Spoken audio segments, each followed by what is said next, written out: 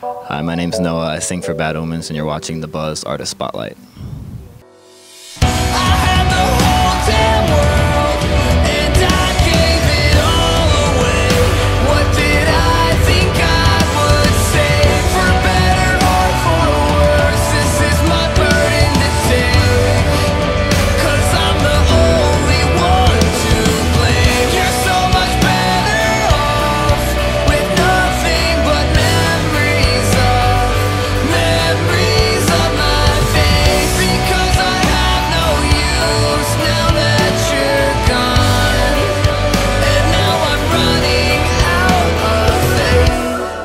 Essentially, it started as a simple solo project I was doing in, I guess, my spare time. I was working in a tattoo shop full time, and I, I just loved making music. And I had recently quit the band I was playing guitar in back in Virginia, um, and this was like late 2013. Um, I'll try to make it short as possible. It's a very long story, but. Um, basically, I quit that band and I started writing just material, like solo material for myself um, recording it, and I made you know an EP for this band under the different uh, a different band name. And um, you know, throughout that time, Nick Ruffilo here, uh, our guitar player, um, he was and still is obviously my best friend, and um, he was the first person I guess that was part of the band when it, as it became a band, you know, because we realized once the EP was done and we got management and stuff, which you know we seeked out um, that we needed a band, obviously, because it couldn't just be one guy. So obviously, you know, my best friend played guitar by default, you know, in the band. Um, that's when he brought on board Vincent. Um, Vincent plays bass in Bad Omens. Um, and basically, you know, I didn't know Vincent very well at the time. We were just acquaintances. Um, but Nick and Vincent both tattoo professionally and that's how Nick knew him. And you know, once I got to know Vincent and found out he played bass and he wanted to be in the band, uh, we just clicked really, like really well instantly as as friends and as musicians. You know, we shared a lot of similar tastes and and interests, and you know, even some like you know personal, private like you know experiences and and you know opinions, I guess. So we we got along really well and. It made for a good start to this band, and then that's when we realized we needed another guitar player uh, and that's when Vincent reached out and told me about his best friend Joakim, who was playing guitar in a band called Her Bright Skies at the time, all the way in Sweden, uh, which sounds, I guess, not very ideal to get a guitar player from another country, but Joakim sent us a bunch of music he had written, and you know he's a producer, so we had that in common. And he just also same story as Vincent. He clicked really well with me as a person uh, and as a musician. So I just knew that he would bring value to the band and to this day, I still think it's one of the best decisions this band made was getting Joakim on board, despite his you know nationality, because he's been such a huge help to the band as a songwriter. Yeah, it, yeah, it's definitely been like a, a huge struggle um, dealing with his paperwork and getting him uh, over here legally, um, but it, has been well founded and uh, for it, it, was totally worth it. Absolutely. Um, at that point, all we needed was a drummer and um, our manager at the time put us in contact with Nick Folio. Uh, but the I guess the email thread kind of died out or something, and it got mixed up and lost. And there were a few other submissions, to, like uh, drum covers to, to of the songs. Um, that's when Folio reached out to me like personally on Facebook and was like, "Hey, I didn't hear back, but here's my cover of your song."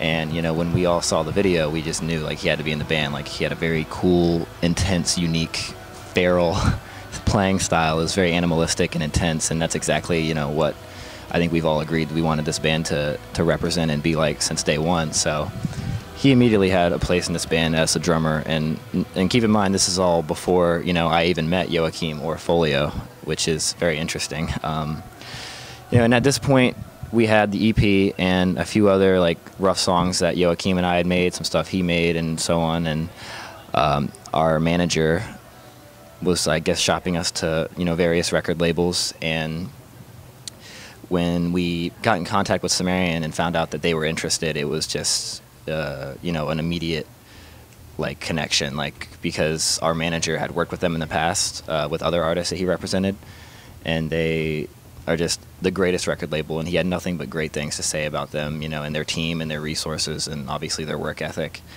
Um, so again, you know, similar to the drummer situation, similar to Joakim, I, I felt you know confident and very strong that that was the label to be on, and that was the decision to make.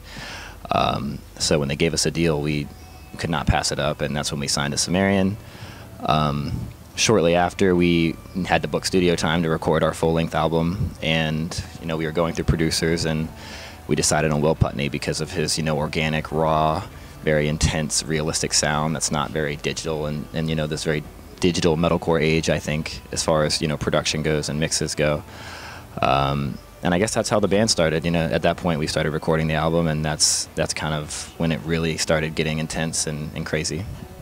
Um, the video, we I don't think we really had a specific concept in mind. We just we we really wanted to do something you know pretty and captivating and artistic and and you know visually stimulating. Yeah, just Uh, just like the song itself. Um, oh, sure. Um, the song itself is uh, a loose concept based around Darren Aronofsky's uh, 2006 film The Fountain. Um, I had seen that movie many years ago when it first came out, and I was intensely moved by it.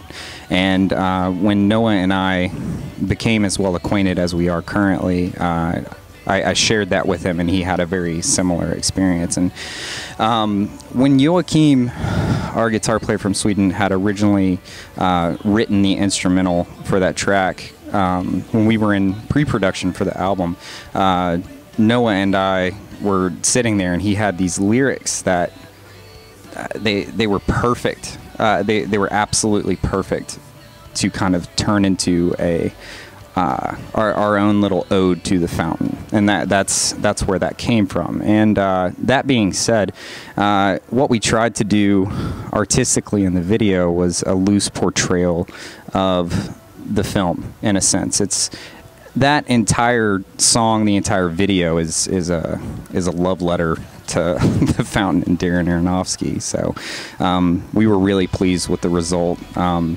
and I, I'm sure for anyone who's familiar with the videos for The Worst in Me, Exit Wounds, and Glass Houses, you know, we wanted to do something a little different and something dynamic to showcase that we are more than just like, oh, here's our faces, we're playing music, awesome. You know, we, we, we wanted something that really that that wouldn't have worked with the fountain. That absolutely wouldn't have. So we're really pleased with uh, how incredible that came out. Absolutely.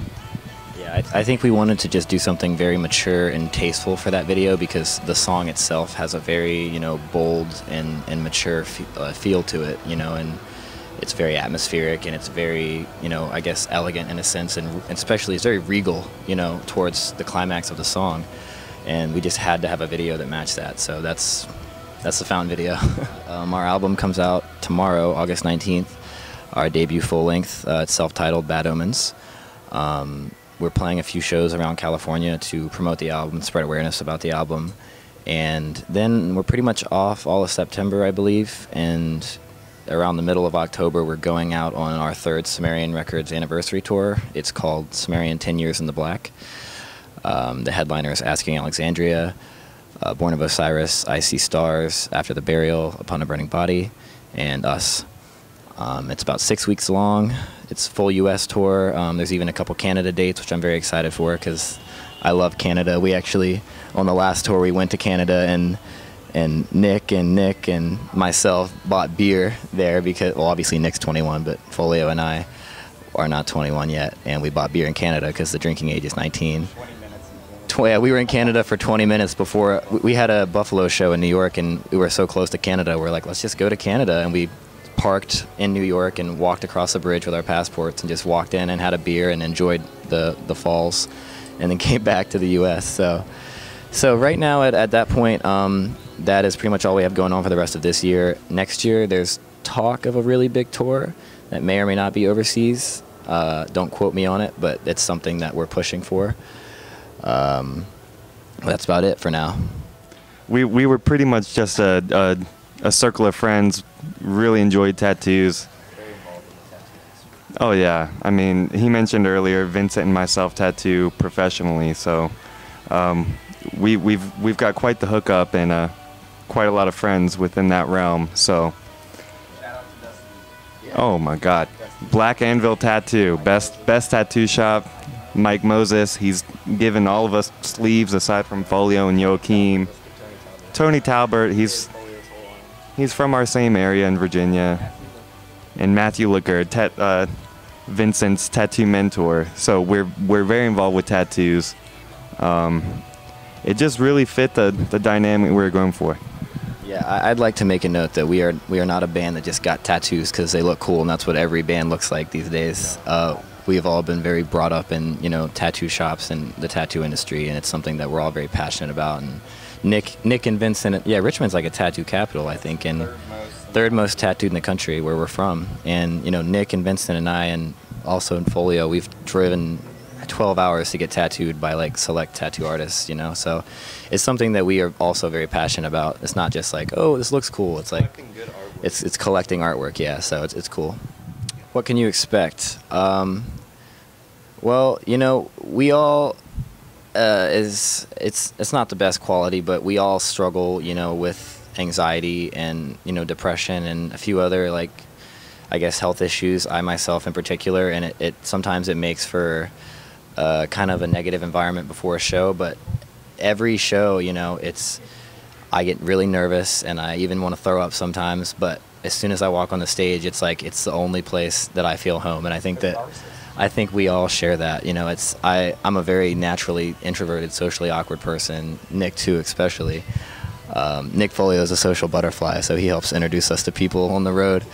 But um, you know, it's the one place I feel comfortable. So you know, yeah. for all of us. You know, I, I think that uh, performing music and writing music are two entirely different things. The performance of music in itself is very cathartic for all of us, and I, I think that when you come to a Bad Omen show, the intensity that we have on stage rivals, you know, like crazy bands from the 90s and stuff like that. That's what we try to pull out on stage. You know, while still performing solid and not like messing up and like sounding all nuts, but yeah, absolutely.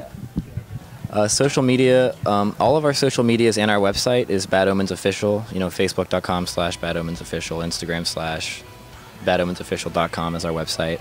Uh, the only thing that's not is Twitter. That's Bad Omens Music.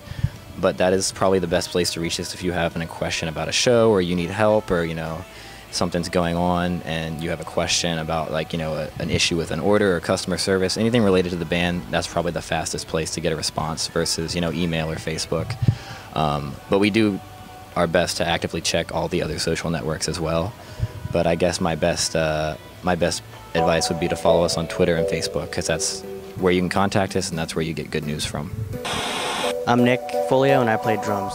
I'm Nick Ruffilo and I play guitar. i'm noah sebastian and i sing I'm Vincent Riquier. I play bass. You just been buzzed.